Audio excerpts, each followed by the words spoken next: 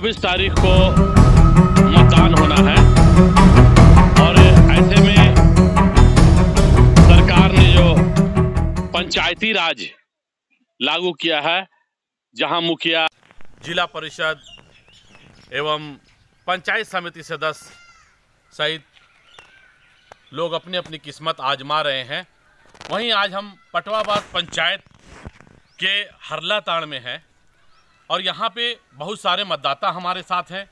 कहते हैं कि चुनाव में साम, दाम, दंड, भेद, हर चीज़ अपनाया जाता है। और मतदाताओं को तरह तरह से लुभाया भी जाता है।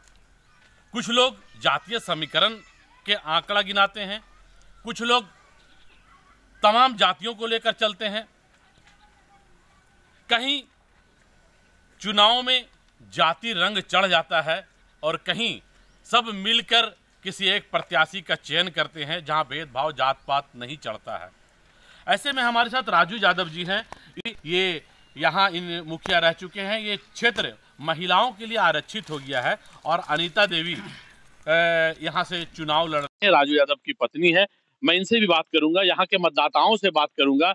ये हरला एक मुस्लिम बस्ती है जहाँ अच्छे खासे मुस्लिम आबादी है और यहाँ पे राजू यादव काफ़ी लोकप्रिय क्यों है लोकप्रिय? मुस्लिम मतदाताओं में क्यों है राजू यादव लोकप्रिय?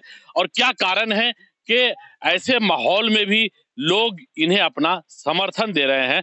मैं जानूँगा राजू यादव राजू यादव जी चुनाव हो रहा चौबीस को। आप इससे इससे पूर्व भी आप यहाँ के मुखिया रहे हैं और फिर से चुनाव मैदान में हैं। क्या लगता है बहुत जगह तो एन, एंटी इनकम्बेंसी देखा जा रहा है विकास एक बड़ा मुद्दा बन रहा है। पिछले का जो कार्यकाल मुखिया और जिला परिषद का रहा है जहाँ विकास हुआ ही नहीं है।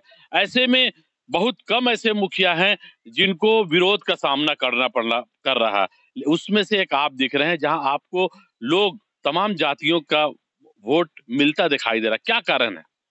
सबसे पहले तो मैं आपका चैनल को बहुत बहुत धन्यवाद देता हूँ।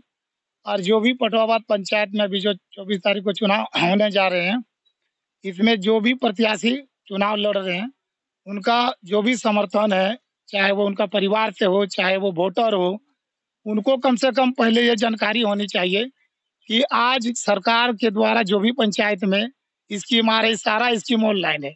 चाहे वो वृद्धा पेंशन हो, विधवा पेंशन हो, विकलांग हो, प्रधानमंत्री आवास हो, या आपका पंद्रहवीं वित्त के आयोग से जो भी रोड है, नाला है लोग कह रहे हैं कि कोई विकास नहीं हुआ।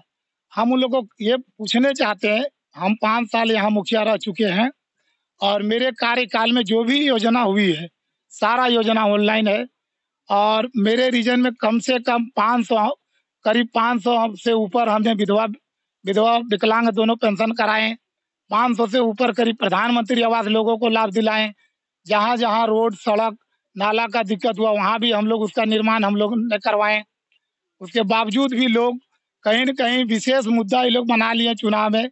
हर जगह हम देख रहे हैं कि जाति का हटकंडा अपना रहे हैं, लेकिन वो चलने वाला नहीं है। पाँच साल मुखिया रहे सबों को हम लेके चले, चाहे हिंदू हो, मुस्लिम हो, किसी वर्ग के लोग मेरे पंचायत में जो भी थे और जो योग्य लाभुक थे, उनको हमने लाभ देने का काम किए हैं और ना ही हम लोग किसी को ठगने का काम किए हैं, ना ही किसी का पर पंचायती में हम लोग किसी को कुछ तो मेरे पूर्व पहले जो भी थे कैंडिडेट मुखिया थे।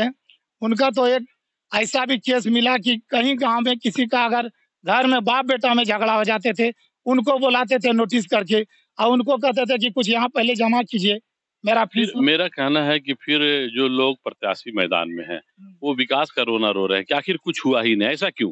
क्या कारण? सारा विकास ऑनलाइन है। हम उन लोग को पहले ये कहना चाहते हैं कि पहले पता कीजिए कि विकास किस माध्यम से हो रहे हैं उसके बाद चुनावी मैदान में। चलिए ये बात तो हम मतदाताओं से भी जानेंगे क्या लग रहा है ये पहले का चुनाव पहले पाँच साल आप मुखिया रहे चुनाव पहले भी आपने लड़ा और इस बार क्या फ़र्क दिख रहा है दोनों चुनाव में? कोई फ़र्क नहीं दिख रहा हमको पूरा जनता का सहयोग है पूरे पंचायत से हर वगर वो हर वर्ग के लोगों से और निश्चित हम चुनाव जीत रहे हैं और इसी में ये लोग बुखला गए तो उल्टा सीधा स्टेटमेंट देना। कौन है आपके टक्कर में? कोई नहीं है मेरे टक्कर में। कोई नहीं है। अगर सामना सामनी बात करते हैं जाति बात को हटा के एक भी कैंडिडेट मेरे सामने में नहीं है। चलिए तो राजीव जी का कहना है साफ़ साफ़ कि जाति रंग नहीं चढ़ रहा है।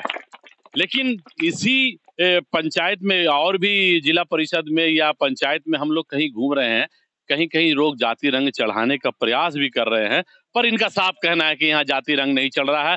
तमाम लोगों का समर्थन इन्हें है और ये अपने विकास के मुद्दे को लेकर फिर से मैदान में। इनका कहना है कि हमने जो विकास किया है उस विकास पे हम वोट मांग रहे हैं। भले आरोपी जितना भी आरोप लगा दे मैंने इससे पाँच वर्षों में विकास किया है। चलिए क्या नाम है आपका? मन नहीं। नईम साहब ये बताइए कि पिछला पाँच वर्ष जो जो बीता क्या लगता है कुछ विकास हुआ है? हाँ हाँ विकास तो हुआ है विकास नहीं हुआ तो ये रोड जो बना है मुखिया दिया है कलवट है नाला है और और पहले के मुखिया के कार्यकाल से आप खुश हैं? पहले के मुखिया से तो काम ही नहीं हुआ है कुछ। पहले का मुखिया का कार्यकाल से खुश नहीं है आप? कुछ नहीं काम। कौन थे पहले के मुखिया? पहले परवेज मुखिया थे। पहले परवेज मुखिया थे इससे पाँच साल जो बीता परवेज मुखिया थे। नहीं इससे पहले अभी तक चलिए मैं उसी की बात कर रहा हूँ जो पाँच वर्ष जो बीता जो पहले अभी मुखिया पहले चला गया वो हाँ। वो परवेज मुखिया थे। परवेज मुखिया अच्छा। नहीं नहीं अभी जो पाँच साल अभी जो फिर से चुनाव आया। वो राजीव यादव है। हाँ तो मैं उन्हीं की बात कर रहा हूँ कि जो उन्होंने राज- तो आज फिर से चुनाव मैदान में है हाँ वो। अभी है। और तो क्या वो जो इससे पहले थे वो काम किए कुछ? उससे पहले जो था वो उन्होंने काम नहीं और किया। उसके बाद जो आए? उसने बाद आए राजू यादव। तो क्या अभी जो मतदान हाँ। करेंगे उनके काम को देख के आप मतदान हाँ उनका काम देख करके मतदान करेंगे। चलिए। आइए हमारे साथ एक और क्या नाम है बताइए? मोहम्मद अलीमुद्दीन। अलीमुद्दीन साहब ये बताइए कि क्या लग रहा है इस चुनाव में बहुत सारे प्रत्याशी चुनाव मैदान में है आरोप भी लगा रहे हैं कि विकास नहीं हुआ। क्या लगता है कुछ विकास हुआ है? विकास तो वो विकास तो सामने में है आप लोग के ये रोड है नाला है कलबट है ये इंदिरा आवास है ये कुआ मरम्मती है सारा काम हुआ है। माने और इनका रीजन में एक सबसे बड़ी बात है कि ये जात पात बोल के ये काम नहीं दिए। जो इनका पास गए जो उचित हुआ काम किया। जो लोग चुनाव में माहौल बनाना चाहते हैं हिंदू मुस्लिम की बात करना चाहते हैं ऐसे में आप विकास को देखकर राजू यादव और अनीता देवी के समर्थन में आप हैं। इसकी मुख्य वजह क्या है? मुख्य वजह विकास। विकास है। जी।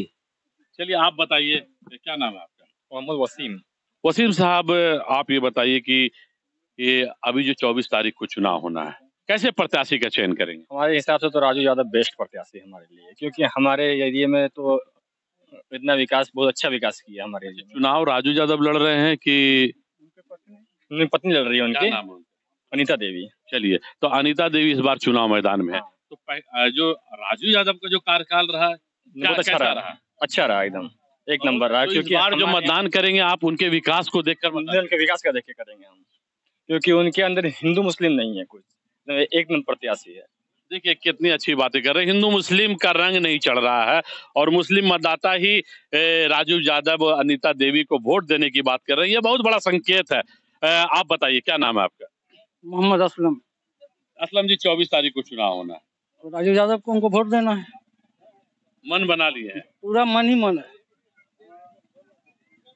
क्या ऐसा तो नहीं कि प्रत्याशी सामने हैं इसलिए आप ऐसा कुछ आप तो ऐसा कोई बात नहीं है। जो मेरा मोहल्ला में विकास करेगा हम उसी को चुनेंगे। हम हिंदू मुस्लिम भाई चाचा को नहीं देखेंगे। चलिए तो आपने देखा कि मतदाताओं का एक सुर में एक ही साफ़ साफ़ कहना है कि हम जात पात नहीं देखेंगे। हमारे पिछले पाँच वर्षों में जो इनके इलाका में जो विकास हुआ है, इस विकास को देकर ये मतदान करेंगे और आने वाले दिनों में और इनसे विकास की उम्मीद करेंगे ताकि इनके क्षेत्र का बचा हुआ समुचित विकास वो कर सके। मैं अपने सहयोगी रामचंद्र झा के साथ प्रिंस अहमद न्यूज़ लाइन, मधुपुर।